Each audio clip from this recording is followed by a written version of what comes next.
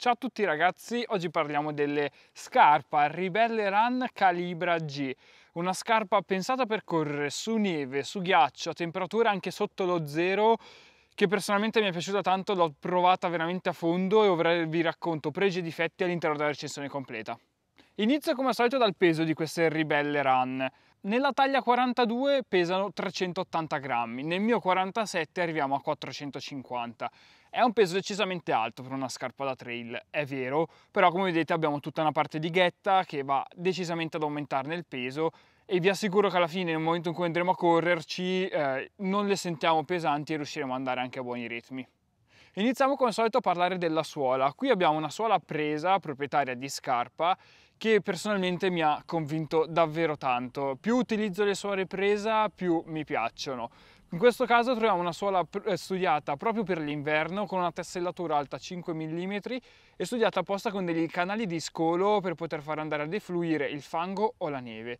Tanto che anche correndo con queste scarpe su neve fresca non si creano zoccoli di neve, riusciamo ad avere sempre un ottimo grip e proprio anche il compound, quindi eh, la mescola di questa presa è decisamente fatta bene. Una volta parlato della suola passiamo all'intersuola. Qua troviamo innanzitutto un drop di 4 mm con un'altezza sull'avampiede di 20 mm e 24 sul tallone.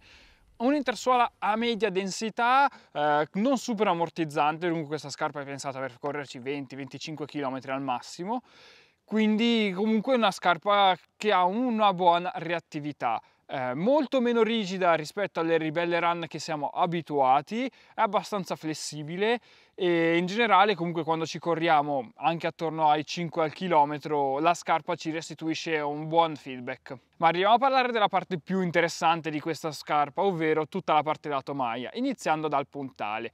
Un puntale che non è molto strutturato, è abbastanza morbido, infatti se vado a premerlo eh, si schiaccia molto facilmente però tutto il fascione che troviamo sul puntale va a ricoprire completamente tutta la scarpa, cioè proprio passa a 360 gradi attorno alla scarpa e questo ci dà un'ottima protezione da tutti quegli agenti esterni che potrebbero andare a, a urtare il nostro piede. Arrivando a parlare della tomaia in sé, è una tomaia fatta con una membrana Polartec Windblock, una membrana anti-pioggia, anti-vento e che ci dà anche una certa termicità perché io l'ho utilizzata con una calzino invernale ai 2-3 gradi e non ho avuto freddo. Quindi una membrana che mi ha convinto. Per quanto riguarda invece il materiale vi assicuro che questo non si rompe. Eh, io l'ho utilizzata per davvero tanti tanti chilometri e non ha nessun tipo di forellino, abrasione Nulla, le scarpe sono ancora praticamente nuove, quindi anche la, durabilità del materiale della tomaia promossa. Ma arriviamo a parlare di tutta la zona del tallone e della ghetta. Tallone anche lui non tantissimo strutturato, è abbastanza molle, eh, però come dicevo ci conferisce una buona flessibilità al momento di corsa. E arrivando a parlare finalmente della ghetta, questa qua è abbastanza alta, va sopra la nostra caviglia, arriva diciamo quasi alla fine eh, della gamba in generale è eh, fatta molto molto bene. Quando corriamo non si sente che abbiamo la ghetta non ci intrancia in nessun modo. Eh, grazie anche alla parte elasticizzata posta proprio nella parte superiore questa si chiude veramente bene attorno alla nostra gamba. E davvero mh, mm, non sembra di avere una scarpa con una ghetta quindi un lavoro molto ben fatto da scarpa.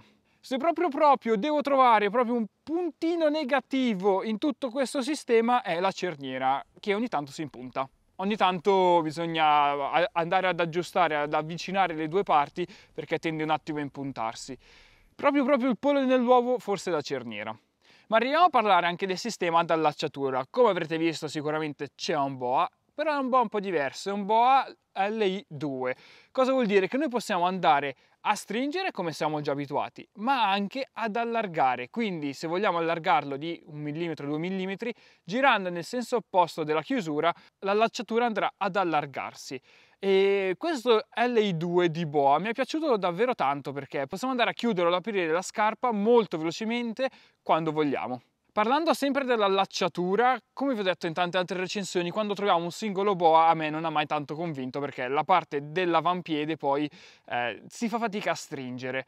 Anche con queste calibra G siamo più o meno lì però eh, abbiamo fatto dei passi in avanti anche grossi grazie al sistema Wrap 360 studiato da Boa e Scarpa l'avampiede riusciamo a, a, gestirlo decisamente meglio. Non siamo ancora a livelli di una calzatura normale con dei lacci normali, però abbiamo fatto decisamente dei passi in avanti rispetto ad altri modelli con un singolo boa.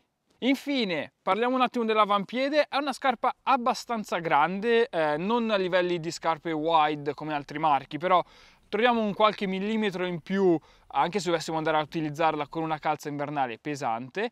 E per quanto riguarda la linguetta, anche lei mi ha convinto, nessun problema, funziona bene. Eh, poi in teoria la scarpa non dovrebbe bagnarsi vista tutta la membrana, quindi non c'è il problema che ci scivoli il piede nel caso di eh, scarpa bagnata.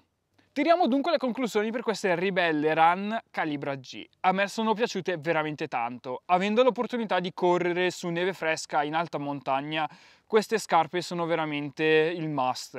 Se siete persone al quale piace correre sulla neve e soprattutto al freddo, eh, queste scarpe ve le consiglio tantissimo. Hanno un ottimo grip, eh, un'ottima termicità perché secondo me con un calzino invernale con questa scarpa possiamo arrivare tranquillamente anche a meno 10 correndo naturalmente e in generale io davvero ve la consiglio tanto. Ha un prezzo alto perché comunque la si trova in giro tra i 200 e i 220 euro, però è una scarpa pensata per un uso specifico, una scarpa che al momento ha pochissimi competitor, le tecnologie qua sono decisamente tante, quindi secondo me il prezzo che costa è commisurato alle performance, al tipo di scarpa che poi andremo a comprare. Detto ciò ragazzi, la speranza sia stato esauriente e esaustivo anche per queste recensioni, vi ringrazio per la guardata e noi ci vediamo alla prossima. Ciao!